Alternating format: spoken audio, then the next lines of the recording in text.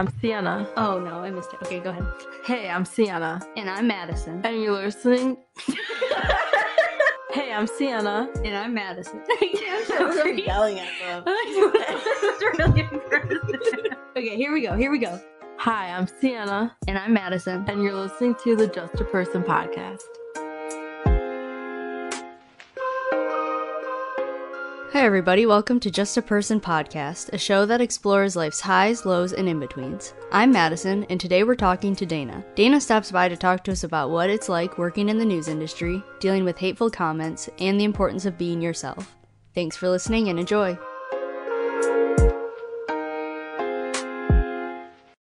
Hello. Hi. Hello. Dana, welcome to our show. Thank you. I'm super excited to talk to you actually. Like I'm I'm really looking forward to this one. Thank you for having me. Uh, before we get started, my mom is a huge fan of yours. but yeah, she watches you every day. She'll be like, Madison, I saw your friend Dana on the news today. This is what she's talking about. She's like a she's a big fan of yours. Thanks, mom. so and I know that she'll listen to this, so I she'll be excited. um, okay, so I'm gonna pick this question out of the hat and I'm gonna ask it, and then Dana, you're gonna answer first. Sound good? Sounds good. Ooh, okay. This one's this one might be a little tricky, might require a little thought. What is something everybody loves but you hate? Oh, I have to think about this. Honestly, I already know my answer, so I can go first if you want. Okay, yeah, you go. Okay. I hate brunch. I think it's the dumbest meal. I don't have a problem with people that like brunch. I just don't get it because it's such I love brunch. it's just like a like an odd time of day for me to be eating and I like I don't want like I just want like pancakes or like a lunch meal. I don't want like casserole, you know what I mean? And maybe people have other brunches, but that is my experience of brunch is just casserole at like 11 a.m. And I just don't like it. I love brunch. I, I have a really strong opinion about it. I don't like if everyone else loves brunch, that's great. I I do not want to be invited like for me, I don't eat my first meal of the day till like one. So for me, that's breakfast. like there is no brunch. Like I just have breakfast like midday. So I guess I don't understand brunch either. Fair enough. I think I hate texting. I would rather talk on the phone. And I feel like a lot of people prefer texting, but I just think it takes too long and I'd rather just call someone. I'm with you. That I have that same opinion. Like, let's just get this out of the way. Yep. Okay. Gosh, those are both good. I would also say I hate texting. I don't hate it. I'm just bad at it. I just don't. I hate. I would say like spending a lot of time. Not spending a lot of time on my phone because I do, but just like, hmm, how do I phrase? I don't know. Madison, do you know what I'm trying to say? Yeah, you just like you're just not a responder. Like you're not interested in talking to people that way. it's just like, yeah, I just don't like communicating on my phone with other yeah, people. That's fair. I really don't like it. So I'm kind of piggybacking off what Dana said, but also I'll say I don't like actual breakfast, like foods. And I hate eating in the morning. It makes me sick. Oh my goodness. Who are you people? Dana's like, I gotta get out of here. this is a mistake. it's weird because I work so early. So I like eat mostly in the morning and then like I'll probably stop eating at like two. So it's like the opposite. Okay, see, um, yeah, I'll probably start eating around two because like I, I can't eat before noon. Like it'll I'll get sick. So I probably start eating around two and then I at night I'm like a huge night eater, so I'll just it's like I eat all my food mainly at like 10 p.m., 11 p.m., like pre bed. yeah, you guys honestly are like on the exact opposite schedule. Like Dana's working, she's up at like what time do you get up? Like two or three? Yeah, like 3 a.m. Oh my, yeah, that's like I'm still awake, not even gone to bed yet. Uh, yeah, that's that's really funny. Um, okay, so Dana, Today, we're here to talk to you about I don't know, just you work in the news industry. So we're going to talk to you a little bit about that. But before that, uh, do you want to tell us about kind of where you're from, what your childhood was like? So I grew up in Metro Detroit. I went to Central Michigan University for college and majored in broadcasting and journalism. And then I went to Lansing for my first job at WLNS Channel 6 and worked there for just under two years. And then now I'm in Grand Rapids at Wood TV. When we were in college, you were, I think, two years ahead of me, and you were in college and you were reporting, like you were working as a reporter before you graduated. Oh, yeah. So I started in Lansing in March and worked weekends. And then I ended up graduating May of that year, May of 2018. So I would commute down on, I worked Thursday to Sundays and I like planned my schedule to be able to do that because I kind of wanted to start working before I graduated. So I would come down Thursdays in the afternoon and then Friday to Sunday all day, which that's cool. I'm glad I got to do that before I graduated. Yeah, that was crazy though. Everyone was like, like, who is this girl? Yeah. Like, this is the like you're just like, I don't know. You're just like very determined, like very hardworking person. Goals, baby. Absolutely. Uh, when did you know that you wanted to work in journalism? I always knew since I was a little girl because I would watch Local 4 in Detroit. That was like the station my family grew up watching. And Carmen Harlan was their main anchor. She was a black woman.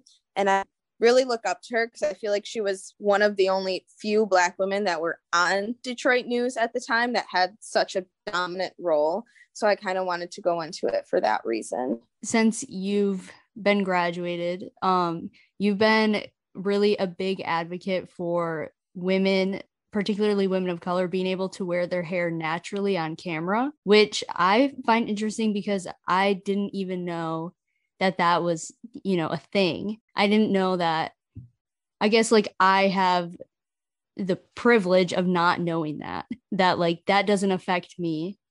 And i think the way that you go about it is really cool. And though like i i read well okay if we want to brag about you a little bit you had um your articles in teen vogue and on the today show. So i mean That was wild. yeah why don't you actually talk about that for a minute Yeah. So when I decided to go natural, I was only like three months in in Lansing. And I was like, before it was just college news where I could like do it a couple times a week, but this was every day. So I was straightening my hair every day and then I was straightening it or touching it up before like each show. So it was multiple times a day. And it literally started like falling out and burning off. So I'm like, all right, well, if I want to actually do this job, like I'm gonna be bald in a year, so I can't do this. So um, I went to NABJ, the National Association of Black Journalists conference in Detroit that year, and met a girl, and she really like motivated me to go natural and like kind of talk to me about how to do it as far as like speaking to management and just kind of having the confidence. So I did it on a weekend when our bosses weren't there because I was like, well, let me just test the waters and see how this goes. And no one said anything. Like, and my producer, she works at Wood TV with me, but I produced her at the time there. So her and I are really good friends, and she would never do anything like that. The anchor was super cool. And I think that they were the right people to do that with because they both too were like, I didn't even know you felt like this. Like, your hair looks great. And I'm like, "Mm, yeah, well, thank you. Okay, then that's great. So that was on a Saturday. And then I tweeted about it, and Teen Vogue, the reporter, messaged me on Twitter on that Sunday and posted the article by Monday. And then Today Show and Yahoo and Insider, they all messaged me too. Like, hey, can you answer our questions? We all want to put this on our stuff. So then by that time, management can't really say anything because it's going viral for good reasons. So I kind of like lucked out in a way because I know it's not like that for a, a lot of women will like ask their management for permission if they can change their hair and they'll tell them no or they just won't even do it because they're scared. But I think the going viral thing kind of helped my case because it was positive for the station. How do you think your managers would have reacted if you would have asked them? I don't know at the time because I was honestly scared. Like I didn't want to give them an opportunity to say no, so that's why I didn't Mhm. even ask. Like my boss hired another girl, a darker skinned black girl with a fro right after all that viral stuff happened. So I think that he kind of realized, okay, like, people like this, this is a good thing, and made it more intentional to start hiring like people of color and women of color with natural hair, which was cool. I find it even odd that like you have to ask permission, or how you said other people like that. That's even something you have to ask your manager. I know, like so in our contracts, it doesn't like say that they can tell me how to look, but it kind of says like they basically own my face. So if they want to do something or like want me to do something, they can't force me, but I mean, it might be in your best interest to do what your boss wants, but I kind of just decided that I didn't want to do that. And I know um this reporter, she called me when I first went viral. She works in Charleston, South Carolina now as an anchor.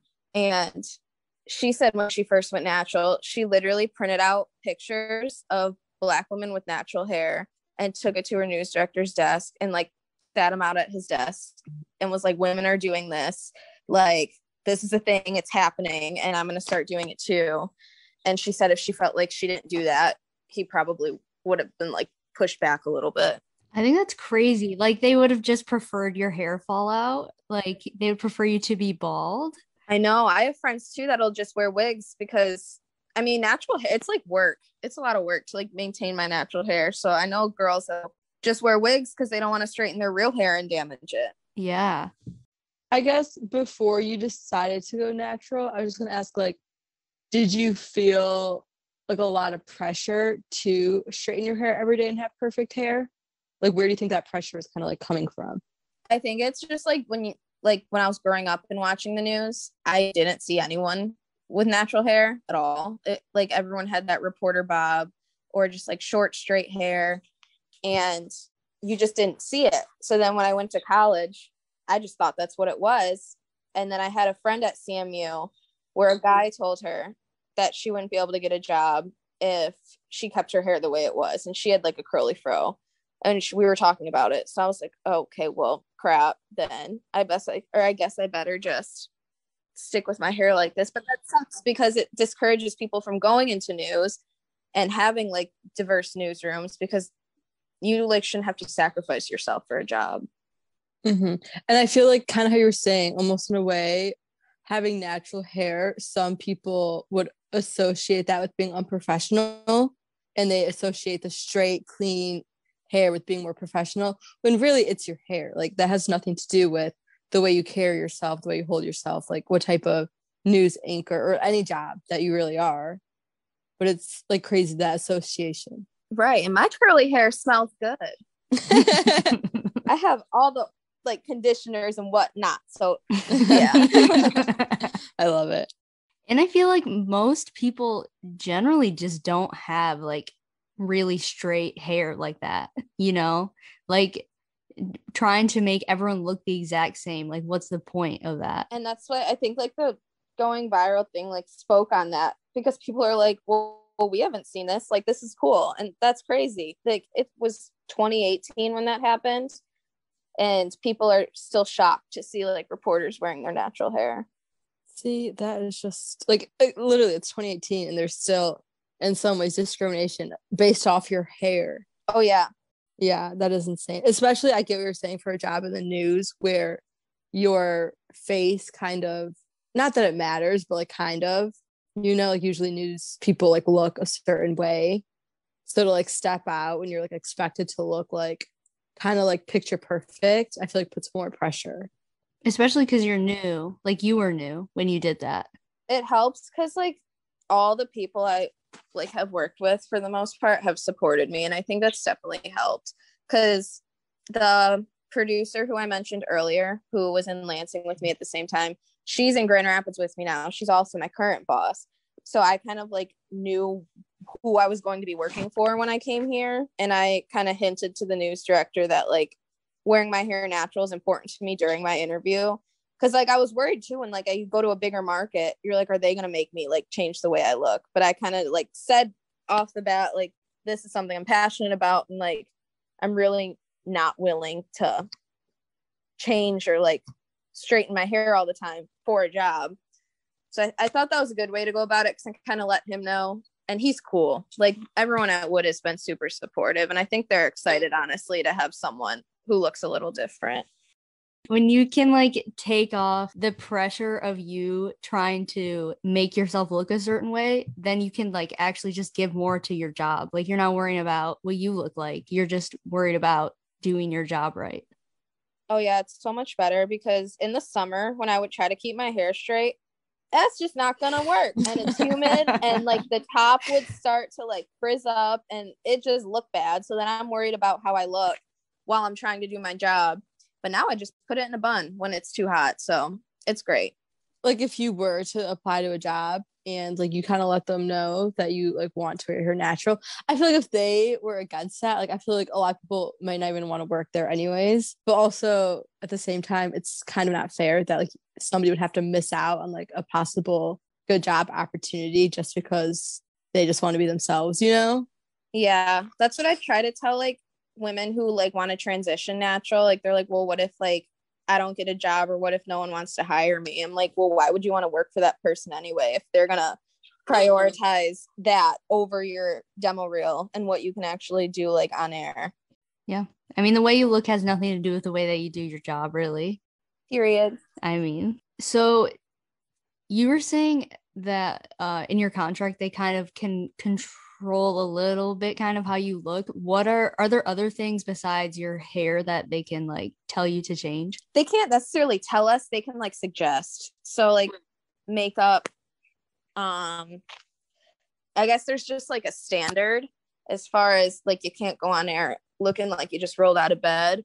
And I think it's getting more lenient though, because it honestly depends on the station. Because I feel like some stations take that more seriously, but at Wood, I feel like everyone just does their own and looks how they want to, and it, it's been fine. hmm See, that's another thing. Like, okay, makeup that for a lot of professional jobs, you're expected to like, as a woman, have your makeup done like every day, and it's like, you, like I feel like women are held to like a higher standard to like look a certain way than men are. Oh yeah, that's definitely hard too. Because I did not know how to do my makeup before this job. And my college roommate Kennedy was my sorority sister, bless her heart, because she literally like taught me. And they don't teach you in like first markets, you're barely getting paid a lot. Like you're barely getting paid to begin with. So they don't pay for the makeup. You have to buy it. You have to know how to do it yourself.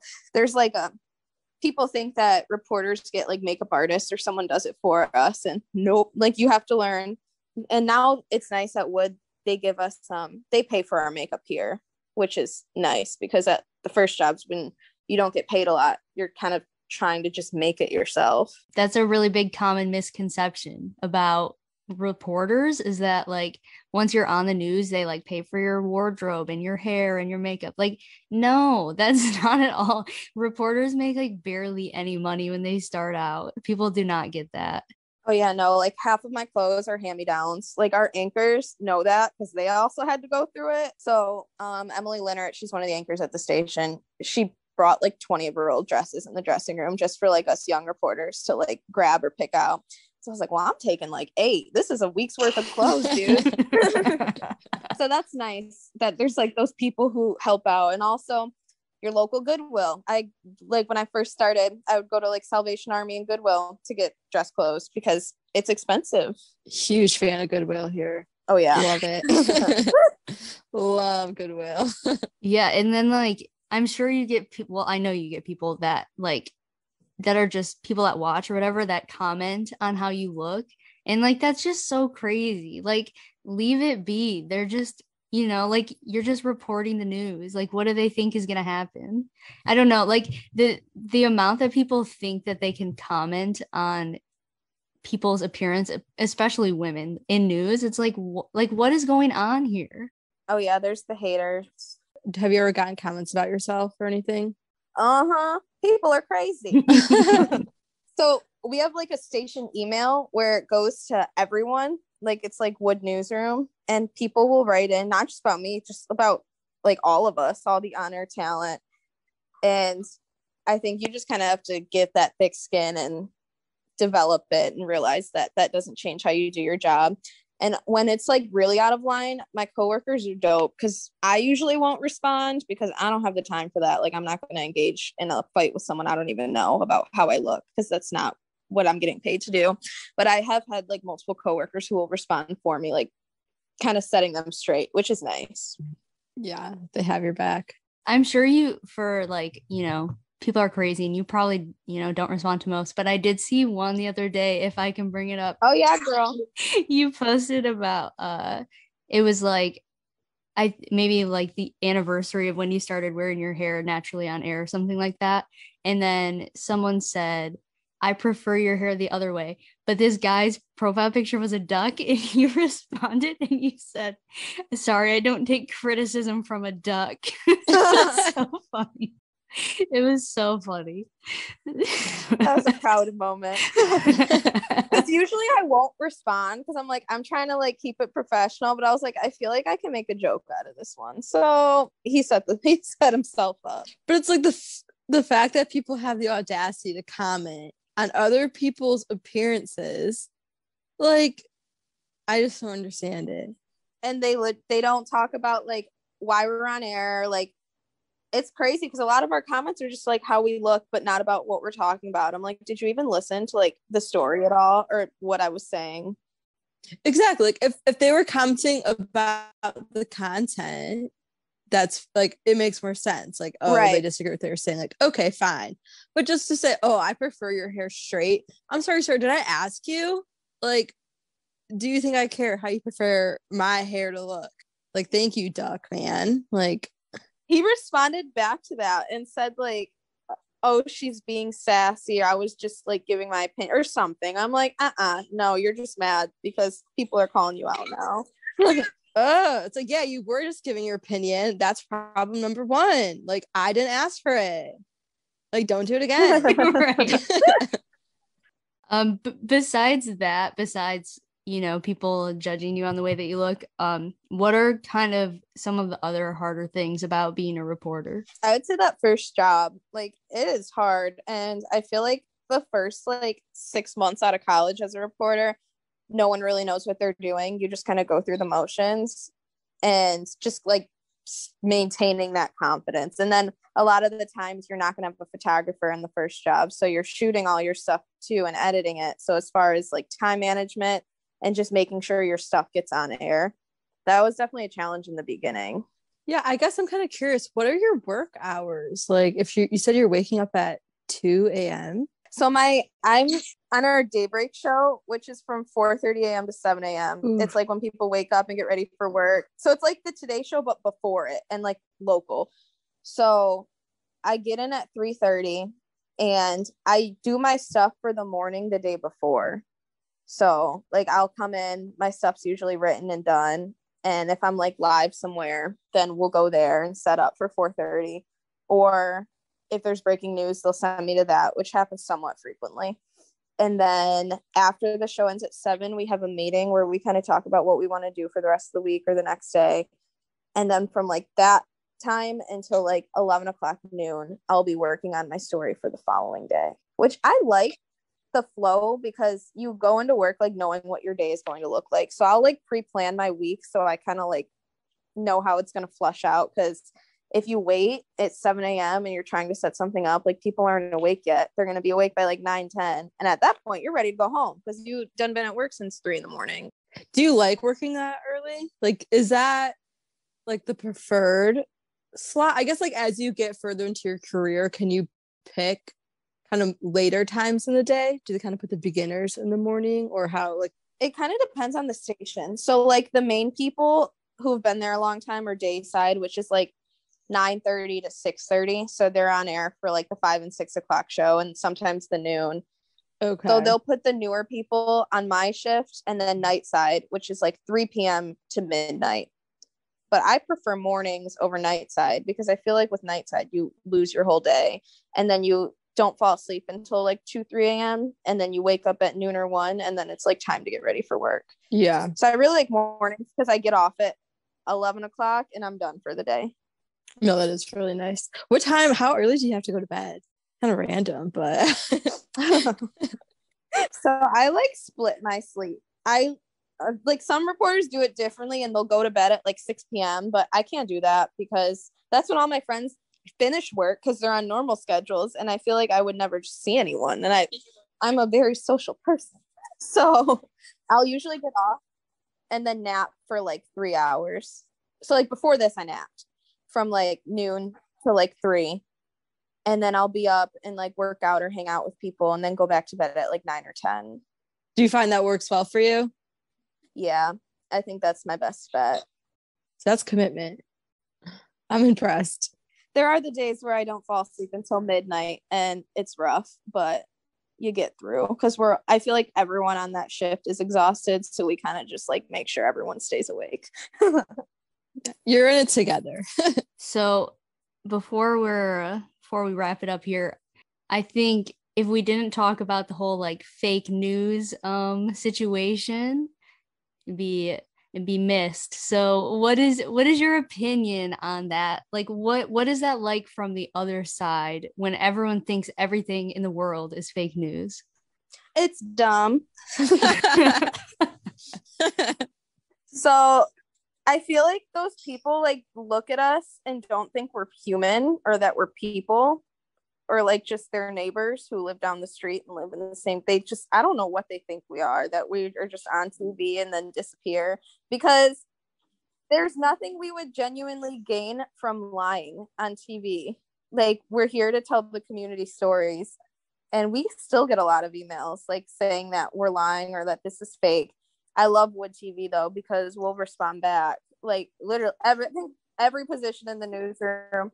Like we'll reply all saying like I got this one, and then someone will like respond because it's dumb. Like a lot of people will write in saying like, "Why aren't you covering this?" Like you're the liberal media, yada yada, and it'll be on our website. So we'll just respond a link to the story. So Here you go. That's an amazing response. Like oh yeah, it's great.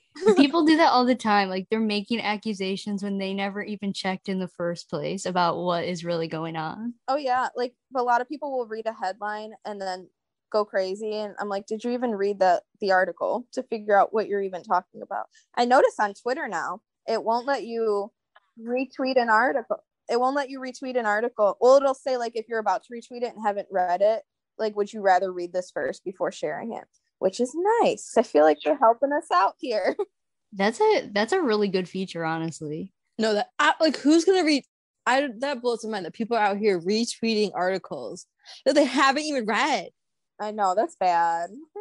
You're sharing information that you haven't even looked at yourself. And having an opinion about it. Yes, yes, people have like full on formed opinions that they'll argue about when they haven't even read the article. Yeah. They just read the headline. That's so many people do. I see it all the time. People read a headline and then they form all these opinions. I'm like, I'm sorry, you couldn't take the five extra minutes to read the article. Like, uh, and if you don't want to read the article, fine, but then don't have an opinion. Like, Right. you can't have an opinion if you didn't read the article. Oh, it drives me crazy. Mad. It's literally madness. Sienna needs to take a deep breath. she needs to take a little break for a minute. Short rant. I see that. Okay, I see it on Twitter all the time. I'm like, come on, do better. Like, That's probably why Twitter added that because they're like, we're sick of this. yes, we like we need to do better as a society. like, truly. Yeah, I think it's funny because it's not like you guys are like the national news, you know? Like it's not like you're influencing like millions of people. Like why why would you lie about anything? we get emails too, like yelling at us for not covering something in like California. Like those, we also get that. And I'm just like, literally watch Lester Holt. Like, I'm sorry. I don't know what to tell you. Like, I'm sorry, ma'am. This is the local news. like look up a California new like local news and read their articles about it. You're not on the right station for California news. right. This is not NBC, but thank you for thinking we're that good. oh, that's so funny. So we like to finish up the show by asking people for advice. So what is your advice for people that want to kind of like be more themselves or just be like who they are but but it's like you know, maybe a little scary, not very popular. I would say just be true to yourself. And I feel like no one knows you better than you know yourself. So if people are telling you, because when I first started to try to go natural, there's like people who are like, well, are you sure? Like, and I know it's like them trying to protect me, but at the end of the day, like, you know what you want out of life. So just go for it. And I feel like the real people in your life will support you. Yeah, absolutely. I like that. Nobody knows you better than yourself. My dad told me that. I was like, thanks, Diddy. Yeah, I like that. Um, well, thank you for taking some time and being on the other side of an interview today. Thank you. I appreciate it. Was it kind of weird? Oh yeah. I always feel like I just like spew. Like Yeah, I'm sure it's we because we each did our own episode until like and we haven't been, you know, this is not our career. So like being on the other side of it, even for just the short amount of time, like that was it's just like weird, you know? Yeah, it was hard for me. Yeah. it is. Because I'm always like I'm like, why do you care? Like I want to ask you questions. right. Do a little switch up. right. Yeah, thank you uh, for being on here. Thank you, Dana. Thank you. And we'll talk to you guys later. Bye. Awesome. Thanks so much again to Dana for being the guest on our show today. If you have a story you want to personally share on the show or want us to read on air, find us on Instagram, Twitter, and Facebook at Just a Person Pod, or send us an email at justapersonpod at gmail.com. And we'll see you next Monday with another new episode.